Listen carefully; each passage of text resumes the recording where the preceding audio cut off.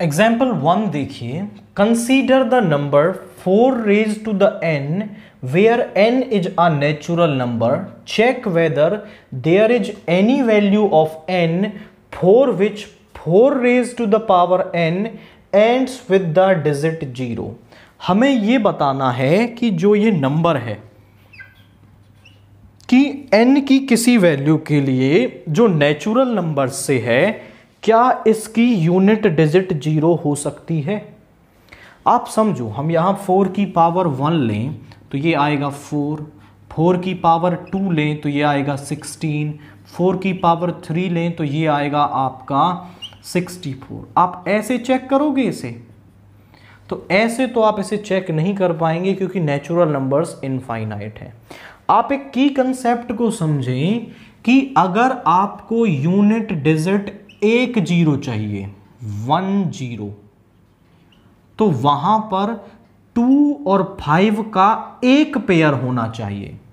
और अगर आपको दो जीरोज चाहिए लास्ट में तो वहाँ टू और फाइव के आपको कम से कम दो फैक्टर्स चाहिए उसके प्राइम फैक्टराइजेशन में।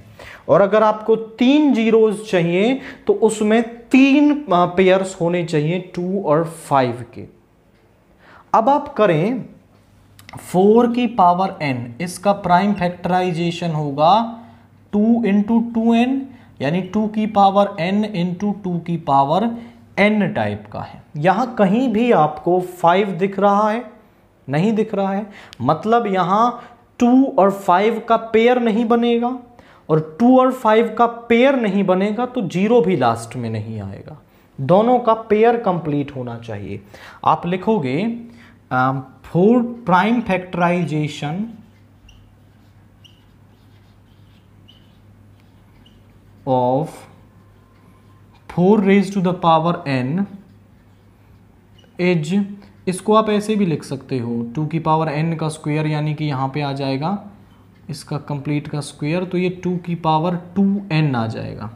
इस टू की power two n it has 2 as its factor. But it do not have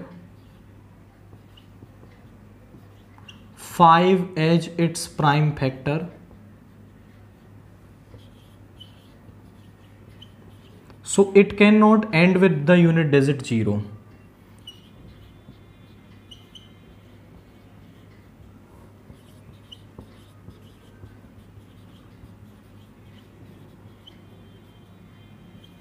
तो ये कभी भी यूनिट डिजिट ज़ीरो के साथ एंड नहीं हो सकता। अगर किसी भी नंबर को आपका यूनिट डिजिट ज़ीरो के साथ एंड होना है तो वहाँ पर उसके फैक्टर्स टू की पावर एम इंटू फाइव की पावर एन टाइप के होने चाहिए, जहाँ पर एम और एन जो हैं वो नेचुरल नंबर्स हैं।